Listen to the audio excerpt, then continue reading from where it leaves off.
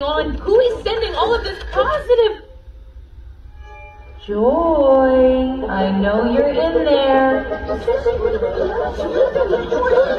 The mind police are on their way. Well, I think we gave it our best shot. Don't listen to anxiety.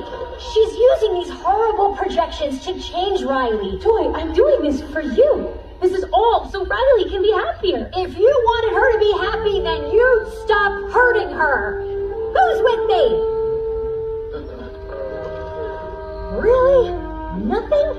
Sorry, Joy.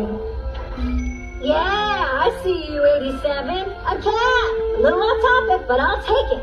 Who else? Come on. What if Riley is better than Val and then Val hates her? Or what if Riley is better than Val and Val respects her?